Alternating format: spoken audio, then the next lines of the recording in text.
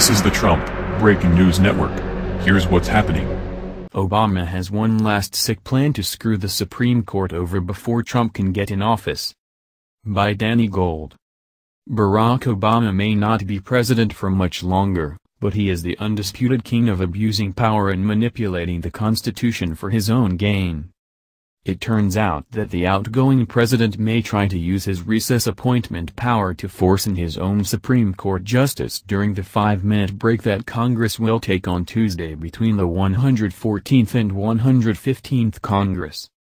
Now technically this power was limited in 2014 by a Supreme Court ruling that declared that the Congress must be in recess for at least 10 days before the president can use this power, however Obama hates following rules.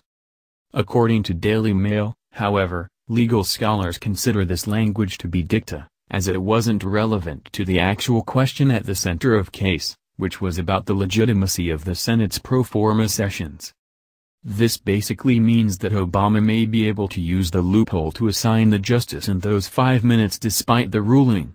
At this point, I'd be surprised if he didn't try. There are still fail-safes for this kind of scenario. For instance, the U.S. courts could rule the move invalid and remove the appointment if they wanted to. The risk here is that they could always let him move forward as well. Hopefully Obama has a tiny bit of dignity left somewhere inside him and will understand that the American people have spoken and don't want Judge Merrick Garland on the SCOTUS. However, Obama and dignity do not go together.